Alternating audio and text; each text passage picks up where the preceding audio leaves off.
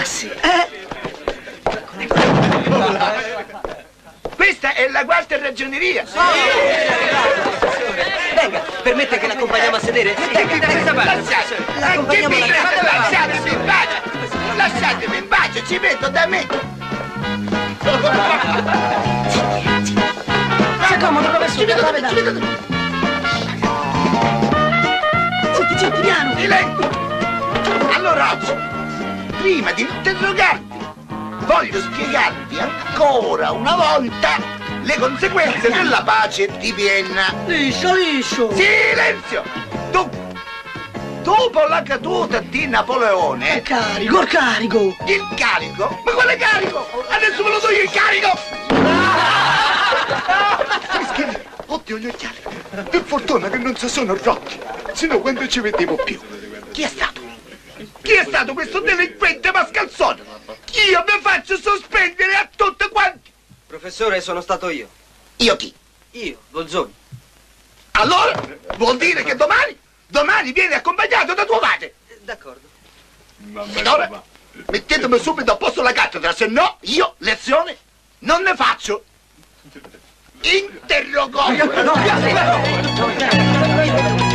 Interrogatorio. Ecco, professore, la cattedra è a posto. Vai, vai, Continui vai. pure la Torna lezione. a posto, torna a posto.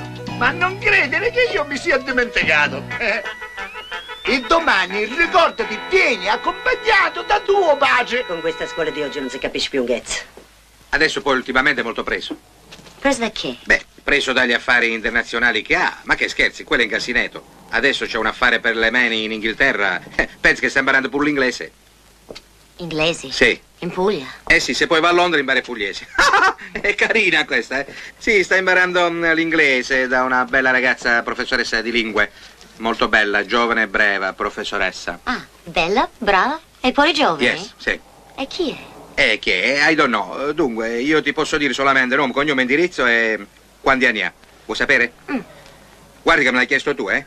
Dunque, si chiama Monica Sebastiani, ha 26 anni e sta all'albergo Semerero dove dà lezioni di lingua al commendatore, in camera.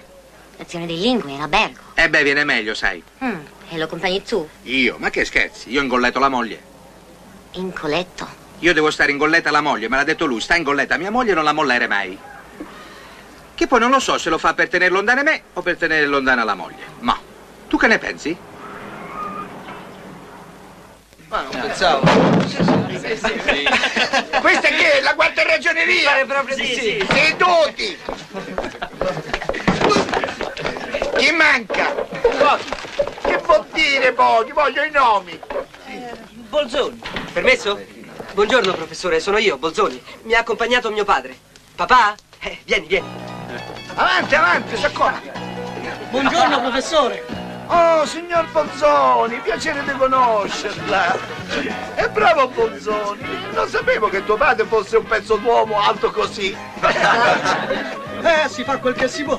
Ma mi parli di questo delinquente di mio figlio. Beh, delinquente, il commendatore è vero, sono giovani, si sa. Tutti in gioventù siamo stati ragazzi, lei mi capisce. Magari oggi questi ragazzi esagerano un po'. E se non gli si mette un freno, rischiano di fare una brutta fine. Questo sì, questo sì, questo sì. Gli occhi, ah, gli occhi! Come gli occhi? No, no, niente, questo periodo mi si è abbassata molto la Eh, vista. a chi lo dice? eh? Piuttosto, signor Bolzoni, cerchi di seguirlo anche lei un po' più da vicino, eh? Sarà mio dovere. Eh, non voglio farle perdere altro tempo prezioso. Bolzoni. Molto piacere di averla conosciuta, molto lieto, molto lieto, molto lieto, molto lieto. Vai, vai, vai a posto. Su, vai, poi ne riparliamo a casa, vai. E vai. Oddio, che disgrazia! Si è rotto in due! Strano, la signorina Monica oggi non si è presentata alle prove. Forse avrà delle